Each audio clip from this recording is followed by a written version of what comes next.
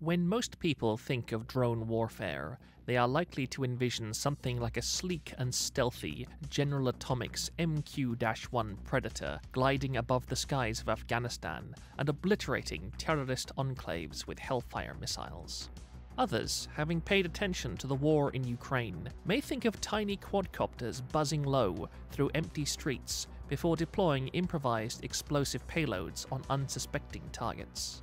Still others might cast their minds back to World War II and fascinating but destructive novelties like the Goliath radio controlled mine and Fritz X guided bomb.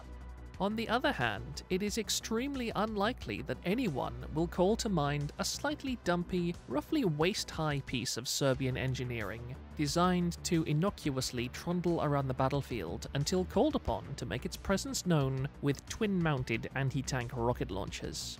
Yet, with a population of just under 6.7 million and a tragic history of violent conflicts during the breakup of Yugoslavia, Serbia has always had tremendous incentive to embrace military automation.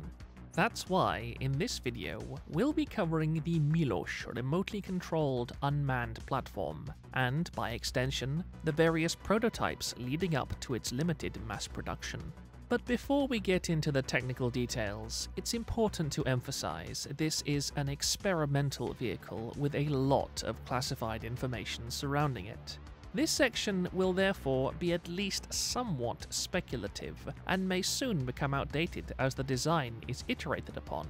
That said, the Miloš is 0.95 meters tall, between 1.7 and 1.87 meters long, and between 0.77 and 0.96 meters wide, with these last two dimensions varying with equipment and configuration. In many ways, the Miloš is the resurrection of a much older project, the Milica, which was a remotely controlled weapon system prototyped in the late 2000s by the Yugoimport company, one of Serbia's largest military manufacturers. Yugoimport was a prolific innovator in this field at the time, prototyping many different drone systems for different tasks.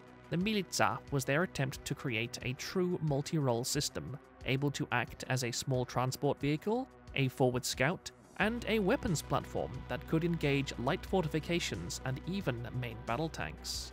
Although very ambitious, the Milica only made it to a functional prototype before being mothballed due to the lack of demand. But the Serbians were not ones to waste a good idea, and the chassis of the Milica would be selected for a modernization program sometime in 2016. The exact details of this program are unknown, but included substantial efforts to increase the platform's versatility and modularity. While the original was armed with two anti tank rocket launchers suitable for engaging armored targets, anti infantry capabilities were non existent.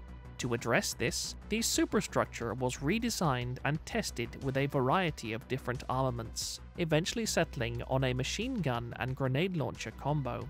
The tests also revealed potential improvements to the suspension, a critical component on a lightweight vehicle that would see a lot of action in rough conditions.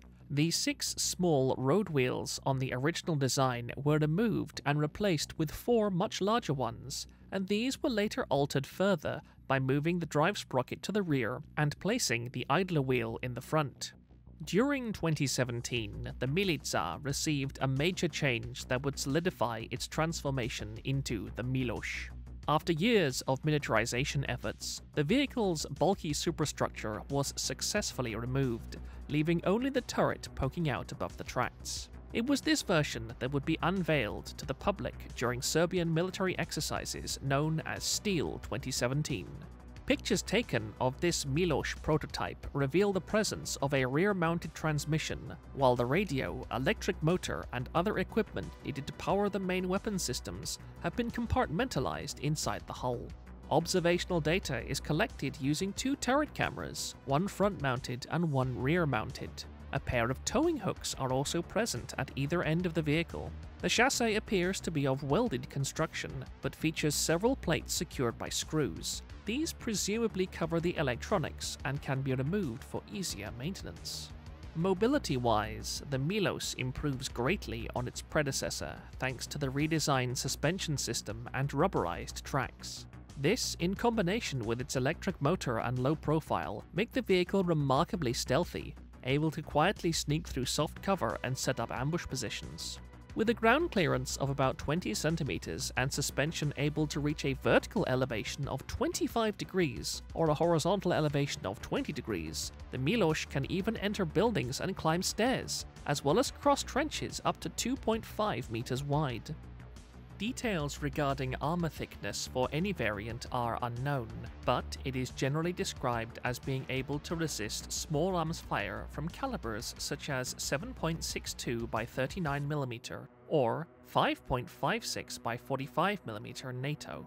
The Miloš houses a set of lithium-ion batteries outputting between 60 to 84 volts, giving it a maximum speed of around 4.3 miles per hour this is reasonably impressive for a vehicle that weighs about 650 kilograms, though it does mean the battery life varies greatly depending on activity level.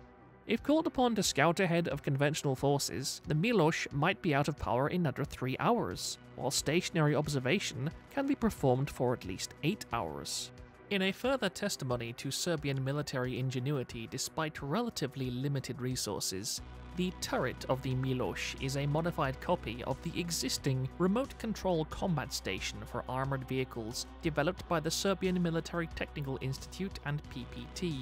Like the hull, the turret underwent several modifications throughout the development process. When the project was first initiated, the intention was for the platform to engage targets at ranges up to about 800 meters. For these purposes, a single 7.62 M-86 machine gun formed the primary armament and was supplemented by a 40mm grenade launcher. For a while, Serbian engineers seemed somewhat at a loss as to where exactly to fit these weapons, as the machine gun was initially placed entirely within the turret, then moved further to the front of the vehicle. Likewise, the 500 round ammo box was first placed right next to the machine gun in a direct feed configuration.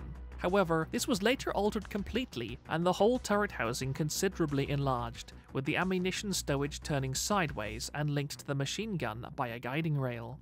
The M-86 itself is a simple gas-operated electrically driven light machine gun with a long history of usage on mounted vehicles. The grenade launcher, on the other hand, is an unknown model and features a 6-round drum magazine. On the original smaller turret, the grenade launcher was completely exposed, and was later redesigned to fit just behind the machine gun, where it benefits from additional shielding. When an extra punch is needed, the Miloš can also mount a pair of 64mm M80 WESP rocket-propelled anti-tank grenades. Although outdated by modern standards, the M80 can still penetrate up to 300mm of homogeneous armor while weighing in at a mere 3 kilograms. The simple, rugged design of the launchers also makes it possible for them to be mounted on the Miloš without interfering with its standard loadout, giving it options for dealing with a variety of light and heavy targets at most ranges. One major drawback of the current Miloš design is that the weapons are linked together and incapable of independent target acquisition. Thus, if engaged by multiple different targets at the time, the operator will have to prioritize each for elimination individually, rather than launch rockets at a vehicle while suppressing infantry with the machine gun. It remains to be seen if stacking up to three weapon systems on such a small vehicle is actually viable and not just a marketing ploy. On the bright side, the turret is very mobile, featuring a full 360 degree rotational range, a maximum elevation of 50 degrees, and a maximum depression of 15 degrees. The traverse speed is similarly adjustable, ranging from 0.05 degrees a second for fine tuning to a blistering 48 degrees per second. To aid in target acquisition, the cameras on the Miloš are capable of a 30 times zoom, letting operators easily spot enemy soldiers a mile or so away. There is also a night vision and infrared camera with a 4 times zoom, plus a laser rangefinder that can quickly measure distances of up to 1.2 miles. Gun accuracy is further improved by a meteorological sensor, which provides such details as wind speed and an azimuth indicator for easy fire correction.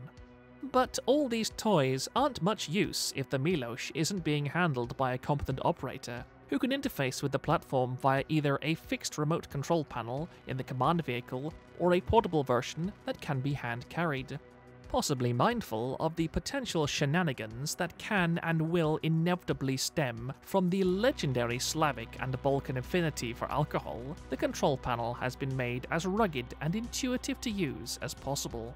When direct line of sight with the platform is possible, the Miloš can maintain communication with its operator at ranges of up to 1.8 miles. Under less than optimal conditions, this figure is halved, and in a non-visual situation, reduces further to around 500 meters. Following numerous trials, the PPT was able to prototype an additional two variants of the Miloš platform in 2021.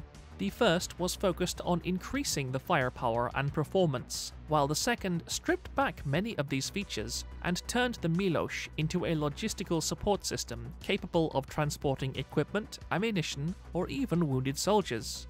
As of the time of writing, both of these variants are still in testing, with only a few units operational. The first, and arguably more exciting of these variants, is dubbed the Miloš V2, with the original retroactively marked as the V1 for the sake of clarity.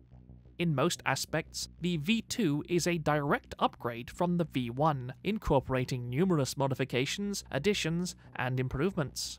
Externally, the most obvious change is the suspension, which has gained an extra road wheel, increasing the total to 5.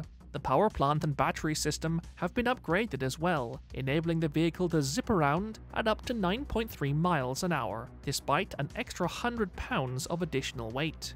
Much of this weight is added by the new weaponry, which includes a 12.7mm heavy machine gun and a pair of 9cm M79 anti-tank rocket launchers. These are a vast improvement on the outdated M80 Wesp launchers mounted on the V1, being able to penetrate an extra 100mm of homogeneous armour at ranges of up to 650 meters. Reports indicate that further upgrades are planned, with the dumbfire rockets scheduled to be replaced by Kornet missile launchers.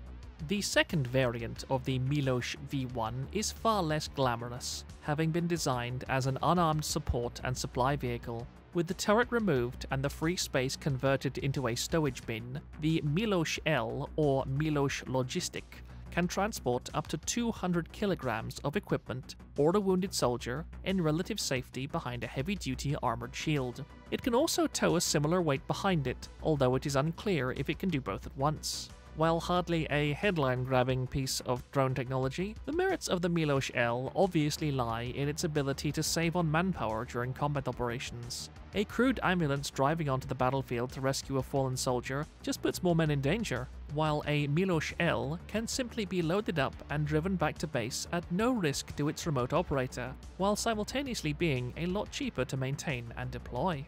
Speaking of costs, it's estimated that V1 of the Miloš platform costs about 120,000 euros, while the V2 costs 200,000 euros. This is quite a reasonable sum for such a versatile system, being not substantially more than the sum needed to train, equip, and pay a regular soldier for a full service term in the Serbian armed forces given that a Miloš can be repaired easily and safely relied upon not to experience battlefield trauma, divided loyalties, or a sudden loss of bladder control when under heavy fire, the average lifetime value of the system likely outweighs its upfront costs.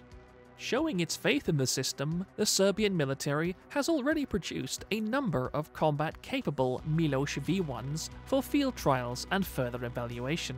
There are 12 vehicles in total, and these are assigned to the 72nd Brigade for Special Operation, where they have appeared in several military exercises. There has even been some international interest in the project. In 2022, the United Arab Emirates arranged for a Serbian delegation to visit the city of Abu Dhabi. Although it had never been intended to operate in a climate like that of the Middle East, the Miloš trundled through its demonstrations without displaying any issues at all. As of the time of this video release, the Arabs have not ordered any units, but this may change in the future. Ultimately, the Miloš is a simple yet innovative use of drone technology that lacks many of the problems inherent in more complicated platforms, especially those capable of flight. Designed to be operated by the average soldier with minimal extra training, the Miloš platform neither costs substantially more than a manned vehicle nor demands an advanced logistics network to maintain and support. It is quintessentially a Slavic product, straightforward, practical, and unpretentious, focused on doing many things well rather than one thing perfectly. However, time and testing will tell if the Miloš is actually worthy of its high praise, or is just a case of Balkan overboasting. Thus concludes our look at Serbia's first major foray into a locally produced drone warfare platform. What do you think of the system? Does it have a future as either a mass produced domestic vehicle or as a licensed export product? Are there any other interesting projects of Balkan military ingenuity you'd like us to cover? Make sure to leave your thoughts below, and if you liked the video, consider supporting us on Patreon. Don't forget to check out Miloš's entry on the Tank Encyclopedia website, as well as other articles on similar technologies.